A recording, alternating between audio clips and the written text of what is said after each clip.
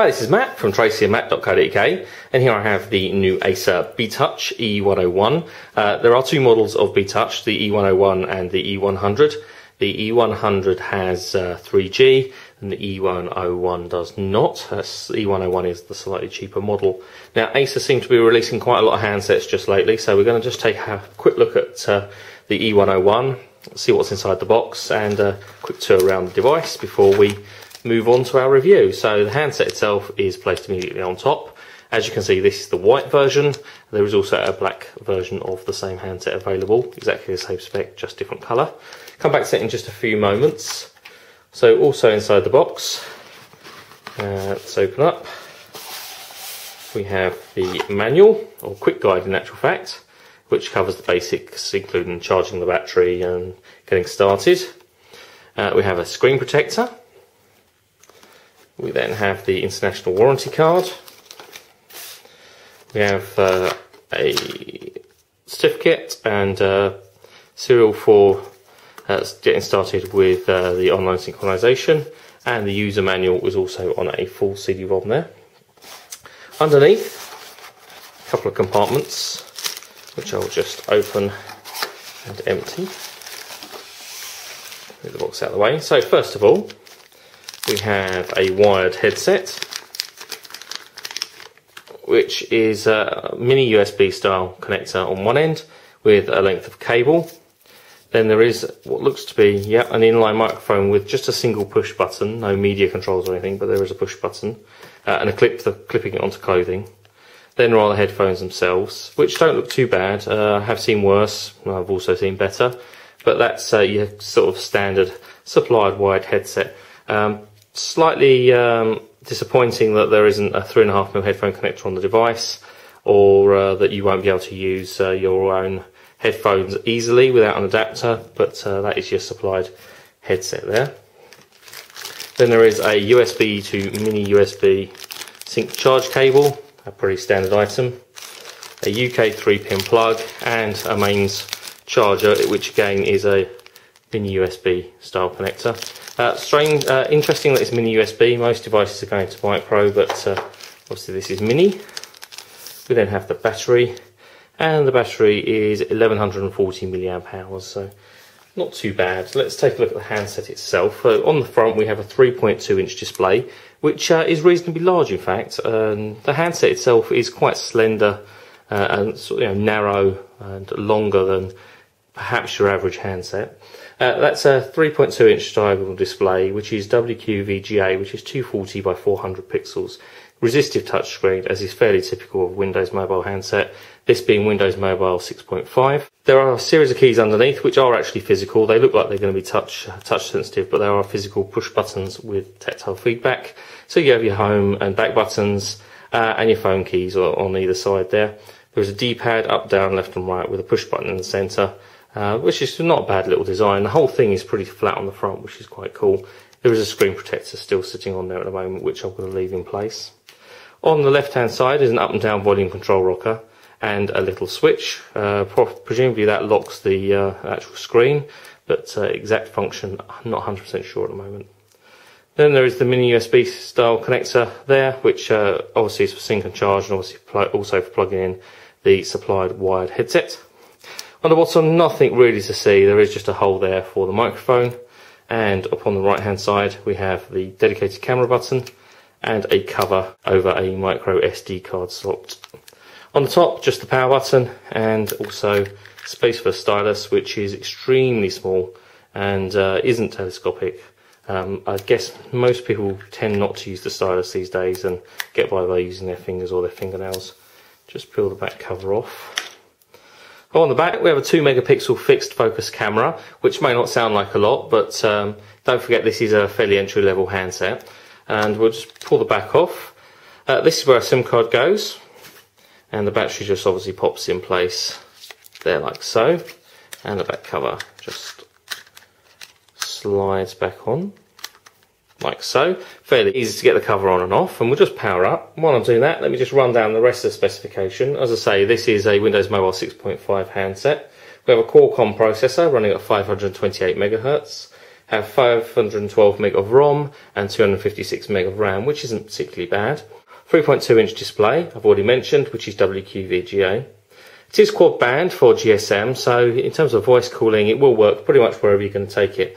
But as I say, the E101 that I have here isn't uh, isn't 3G, so you are limited to GSM, GPRS, and Edge for data connectivity. The E100 model does have uh, 3G, but uh, don't don't perhaps be put off uh, by that because uh, don't forget this is an entry level handset. So we do only have the two megapixel camera, and yes, uh, we do only have we don't have 3G, but uh, it is a handset that will cost around only £150. So it is uh, probably sort of a, a bargain entry level handset.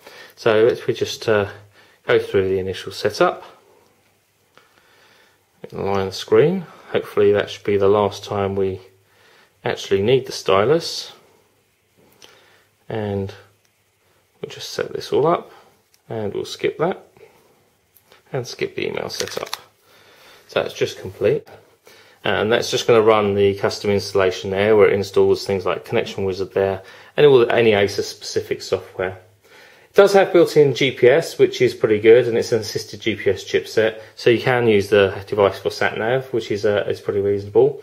Standby time is listed at 400 hours, and talk time at 5 hours. Dimensions 113 millimeters from top to bottom, 56 millimeters wide, and just under 13 millimeters thick. Uh, it is quite lightweight as well, only 118 grams. I think it's a nice small handset, easily pocketable. Personally, I do quite like the white. I know it's not everybody's cup of tea, but uh, for those that don't like the white, you can get it in black. Um, but I do, I think the white is quite smart.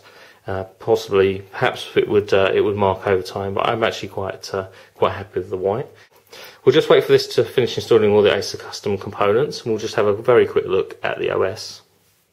Okay, so I actually did stop and restart the recording here because the initial setup uh, has taken around seven or eight minutes, which uh, only needs to happen the first time you actually uh, reset the device after a hard reset. So it uh, doesn't take seven or eight minutes to reboot every time, so just bear that in mind. Um, so we do have um, a more, more, unusual arrangement of icons on desktop. Uh, it's kind of like a desktop arrangement. So you have phone, text, phone book, Internet Explorer, Windows Media, and Messenger on the main page there, if you like, or the home screen. Uh, we do have in the start menu the other applications. Uh, as you can see there, they are arranged in the honeycomb style, as is pretty, pretty typical of a Windows Mobile 6.5 device. A couple of icons in here that we won't have seen before probably is a social networking icon. There's also multimedia, which is pretty straightforward. MSN Weather is in there. Uh, Task Manager, ActiveSync, Facebook already installed, which is quite cool, and a YouTube application. Google Maps also pre-installed, and also Acer registration, so you can obviously register the product presumably online. Um, so there, there are a few items on here that are perhaps out of the ordinary. MSN Money is also there, uh, MSN Messenger, all the things that you, you know, pretty come to, pretty much come to expect. Internet Explorer's there. I don't see Opera, um, so uh, Internet Explorer is the only browser that's pre-installed as you can see there. But that's what we find in the start menu. So we can press and go into the start menu by pressing the button in button in the corner and then closing it the other side. Uh, also into the start menu by pushing the button there at the bottom and oh, so we have to close that back out the side. We can lock there the side and actually locks the screen and then we have to just slide to unlock pretty pretty typical and also on this side we have the settings button and we can change the uh, items that we have on on the home screen. So uh, we can't remove phone text and phone book, but we can remove and replace Internet Explorer, Windows Media, and Messenger, and we can also add another three underneath. So that's quite cool. So we can customize that. It doesn't appear that we can actually swipe that backwards and forwards. There is only like the one page. At the top we have a task manager. I just press to go into that. Task manager there, as you can see. So in the status notification area, we can tap there and we can actually get to the settings there. We can change the ring volume and so on. And that's a really standard Windows mobile um, uh, item there that's floating over the top there. Um, it hasn't been skinned at all, uh, which is uh, unusual. Most uh, most manufacturers are skinning things like the volume controls and stuff like that. Um, but that's what we find in the status area and in the com manager. So these like notifications are um, are very much Windows Mobile 6.5 standard items. Uh, pressing the buttons at the bottom, well, that's uh, that's the home screen, the back button, and then we have the phone dialer. and uh, we can obviously dial numbers quite happily. That's no problem. Don't forget it is a resistive touch screen, so it does require like a re, uh, you know a harder press than a capacitive screen. So you need to press it with something like a fingernail or reasonably hard with the middle of your finger. I mean, it is quite a sensitive screen. It's not too bad at all. Um, it's reasonably impressive. It's quite quite clear and bright. Obviously, um, there is quite a bit of reflection on the screen. Obviously, I'm in some a very bright environment, but it gives you an idea of what sort of uh, glare and reflection you would expect uh, from the handset when you're actually using it anyway. So they give you an idea of, of what to expect when you're using the handset outside.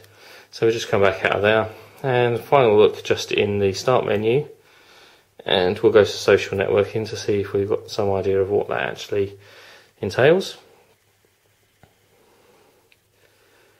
Oh, and so here we can connect to Blogger, Flickr, YouTube, and Facebook. Uh, whether or not there's any other applications that we could uh, add to that list, perhaps there are, but uh, those are the four that are listed there. Uh, we'll try those out at some point also. So that is a very quick tour of the Acer E101. Say the Acer E100 is much the same device, but also has 3G connectivity where this one does not. This one is uh, considered a fairly entry-level Windows Mobile 6.5 handset. So if uh, you're fairly new to Windows Mobile 6.5, uh, or you just want a reasonably straightforward phone uh, to have Windows Mobile 6.5, this could be a good entry level handset for you. It's £150 plus VAT, which is a very, very good price for a Windows Mobile 6.5 handset, so it's definitely worth considering. We'll have a full review for you on tracyandmatt.co.uk over the next couple of weeks. And don't forget you can follow us on Twitter. On Twitter we are Tracy and Matt. And also Facebook, we have a Facebook fan page. The details of those can be found, uh, if you missed any of those URLs, they can be found on the title page of the video, so you can just follow our URLs there. So don't forget to follow us on Twitter and come back for the review on tracyandmatt.co.uk, and we'll see you again soon in another unboxing video.